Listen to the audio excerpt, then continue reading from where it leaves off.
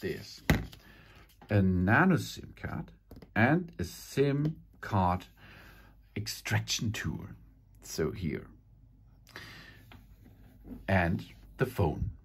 The phone on the left side. Okay, first on the right side, you can see the button here. This is the power button. Okay, and on the opposite side, on the left side, you can see volume up, volume down. And there is a little hole. And in this hole, we have to penetrate now using the SIM card extraction tool and press until the SIM tray is coming out a little bit.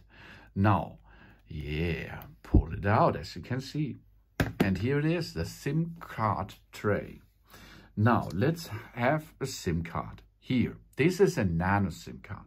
The nano SIM card is the smallest SIM card which you can use on smartphones. And we have to enter it in this tray. You can see this rounded edge and there is the same, okay, on the negative part. And then we will get this SIM card in position. That it is. Now we have to enter the SIM card with the tray into the iPhone while it is running, no problem. Then we have unlock. We have to unlock it. And of course, we have to enter a SIM card uh, pin. This is the second pin you have to, no, the third thing. The first uh, is you have to enter a password or um, for your Face ID. The second is your um, your Apple ID password. And the third thing is the SIM pin. Of course, a SIM pin you can deactivate later. So now enter the SIM pin and then we can press OK.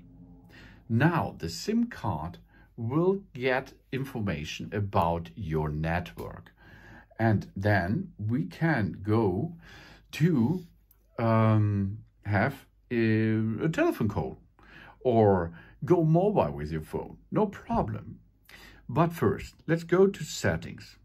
In settings, we can go to mobile datas. So here you can see some messages are coming, no problem, uh, because it works. Uh, we go to mm, mobile data, here you can see mobile datas. Then mobile datas you can switch on or off if you like. Then roaming.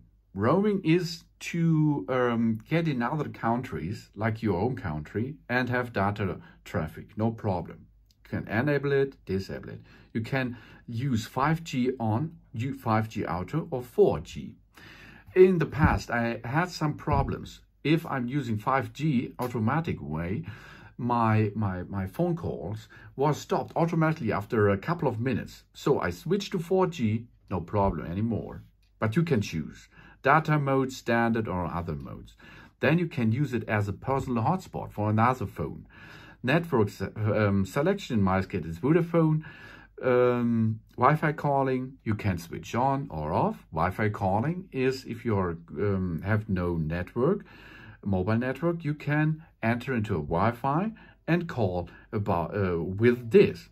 Calls on other devices when nearby. Mobile data network, network provider services, this you can use to have special provider services. SIM pin, in this case, you can change that the SIM has um, no pin anymore. You can set up this. The SIM applications and app data plan. Everything is possible here. And if you're going to go with the electronic SIM, you have to go add a data plan.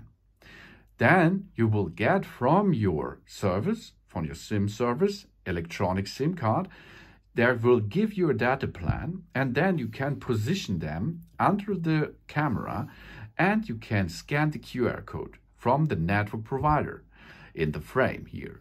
And then you have an electronic SIM. Let's cancel this. That is possible to have two numbers on one phone, electronic SIM and the nano SIM. Two numbers in one phone. That's awesome. Awesome device, easy to handle and in good quality. Thanks for watching. Please subscribe me and give me a positive feedback. And I hope to see you again on my channel. Soon Sun!